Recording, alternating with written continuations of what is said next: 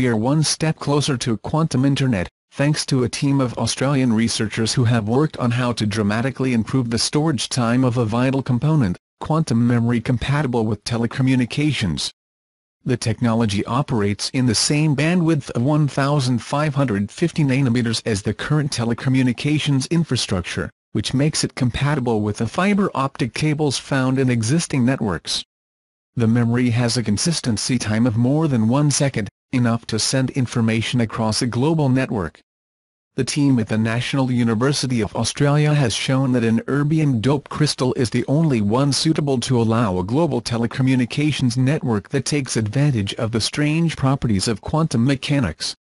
The effort to build a quantum computer is often described as the 21st century space race, but today's computers did not realize their full potential until we had the Internet.